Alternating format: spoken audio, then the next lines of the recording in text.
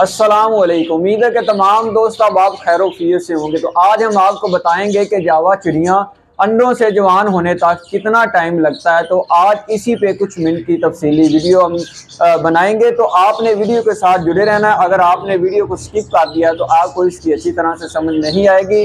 तो हमने कुछ शॉर्ट सी वीडियो बनानी होती है, कुछ दो चार मिनट की। तो आपने वीडियो को अच्छी तरह से लास्ट तक देखना है, ताकि आपको अच्छी तरह से समझ आ जाए।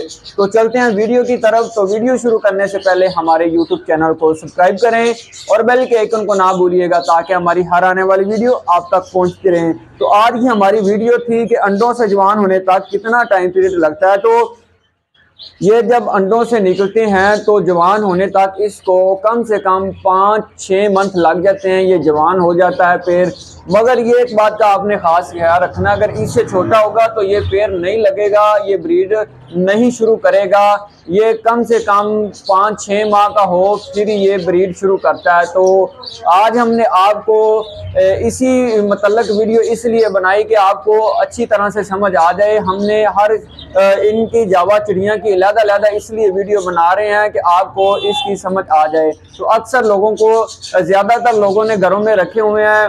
ये स्टेलियन, या लाव बल्ड हो गया, या कोकटल हो गया, जावा चिड़ियाँ अक्सर लोगों ने कम ही रखी हुई हैं। तो हमने, हमारे पास एक जावा पेड़ आया तो इसलिए हमने जावा चिड़िया के बारे में वीडियो अलग अलग पार्ट इसमें बना रही हैं, ताकि आपको समझ आ सके। तो उम्मीद करता हूँ कि मेरी आज की वीडियो आपको अच्छी लगी है तो अल्लाह